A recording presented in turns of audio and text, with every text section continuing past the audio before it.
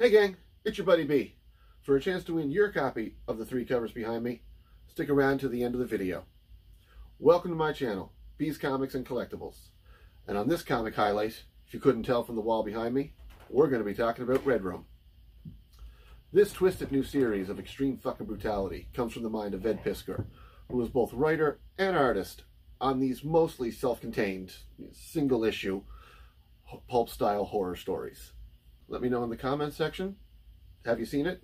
Did you pick it up? Did you flip through it? Say, this is way too fucking much? Put it back?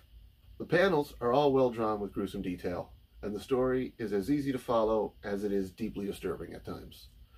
And with that, Ed Piskor does manage to craft a uniquely original story with an age-old concept. In the 90s, Van Damme was doing his thing at Hard Target. After that, up the violence, we get Hostel. 2020, we get The Hunt.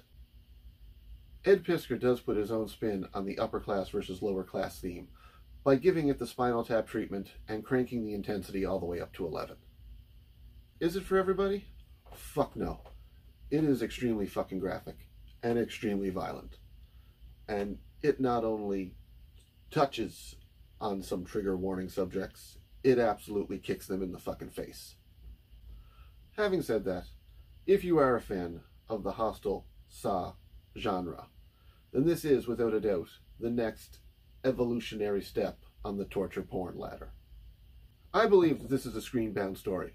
It's too fucked up not to be. And definitely a piece of comic history you don't want to miss out on.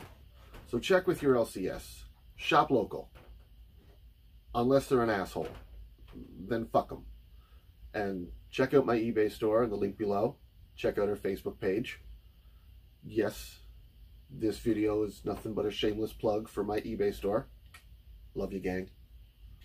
And for your chance to win, subscribe, like, comment your like number, and on Saturday, June 5th, we'll see who's taking home their copy of Red Room. Fly high, my friends.